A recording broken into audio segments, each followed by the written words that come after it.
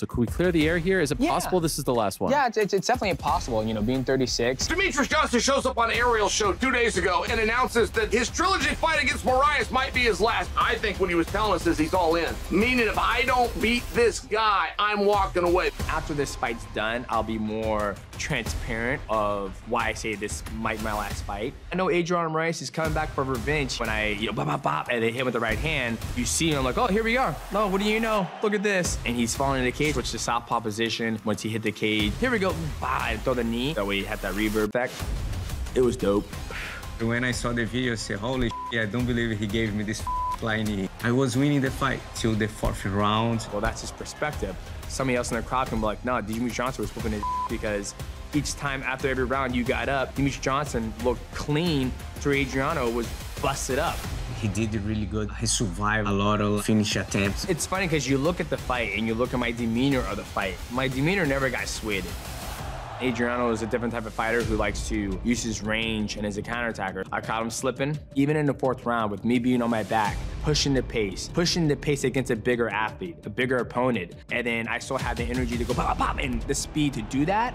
That's where I realized like I'm on a different level. Adriano's done some great things in mixed martial arts, but it's different. Lost the belt, got the belt back, lost the belt, got the belt back, and you know, you look at his fight against Yuya Wakamatsu. To play. I was there live, the fans were booing him, got a yellow card. I've never been booed before in my life. It Doesn't matter who you beat, it's about how you got about doing it. I like to say sometimes I need just to lay my belt, so I lay my belt to Dimitri Jones to make an amazing event here in the United States. Moraes Johnson 3, the trilogy of era. I can't wait to put in a show for everybody. Let's go in the new. Now we're at this pinnacle moment, you know, the trilogy, my first one. I'm one of the best flyweights that's ever been in mixed martial arts because I have submissions, I've had knockouts, I've had bonuses. I- I'm super excited that One Championship believes in my skill set and my brand to go to headline the first US debut.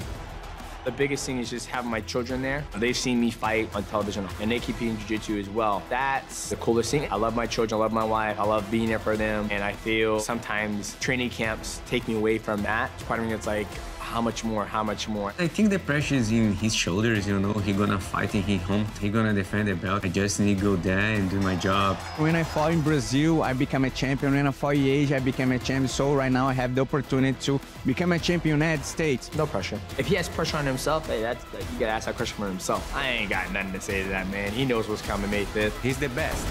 He's the guy. And I beat him. I can do it once again.